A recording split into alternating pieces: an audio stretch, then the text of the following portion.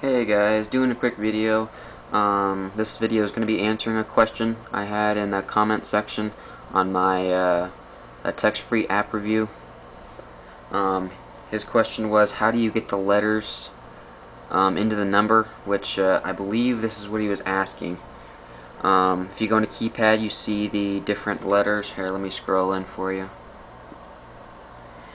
Um, you see the different letters, obviously, like 2, uh, A, B, and C, 3, D, E, and F, and so it, it goes on all the way through the alphabet. Um, his question was, how do you get those uh, letters into the number? And uh, you don't really. Um, there's not a button you press to uh, highlight the letters so you can type in uh, a word or something into the number.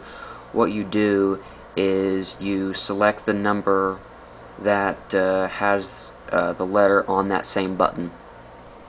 So uh, I used an example in the description on 1-800 uh, runaway.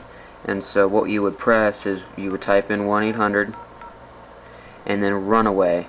And you'd look since R is the first uh, letter in runaway you'd look for the R which is 7 uh, R is right there so you'd press 7 uh, and then you look for the U, which is 8.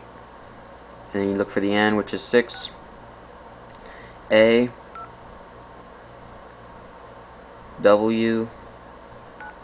A. Y. So that number right there is 1-800-RUNAWAY. Um, so if uh, I hope this answered your question. Um, if you have any more questions, just uh, leave it in the comment box and I would be happy to answer them for you. Thanks guys, bye.